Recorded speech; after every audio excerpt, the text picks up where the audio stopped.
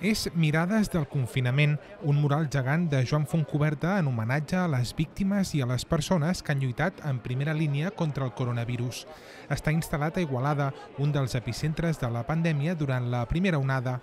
L'obra, que és iniciativa juntament amb Òmnium i el Festival Cruïlla, és un fotomosaic de ceràmica de 46 metres d'amplada i 3 i mig d'alçada, unes dimensions que el converteixen en el més gran del món. Està formada per 64.000 petites fotografies quotidianes del confinament que han enviat unes 15.000 persones i que acaben formant les figures d'11 persones. A mi m'agradaria que no recordés aquest mural com el mural del Joan Fontcoberta, sinó com el mural de la gent. El mural en el que la qualitat principal ha estat precisament la participació.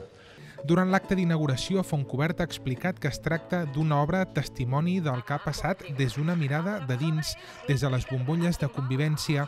El president d'Òmnium, Jordi Cuixart, ha reivindicat la figura de Fontcoberta i ha reclamat al govern més pressupost en cultura i en sanitat. Sí que demanem als polítics i als governants necessitem pressupost, necessitem pressupost per la cultura, sí, però també necessitem pressupost per la sanitat, pels serveis públics. La prioritat és aquesta, salvar vides. Si no som capaços de salvar vides és que no té res absolutament sentit. Per tant, us demanem que feu aquest esforç de posar la vida per damunt de tot. El director del Festival Cruïlla, Jordi Herreruela, ha explicat que el mural havia de formar la paraula llibertat, però que tot va canviar quan va esclatar la pandèmia. Llavors van veure que la paraula que havia de formar el mural era solidaritat.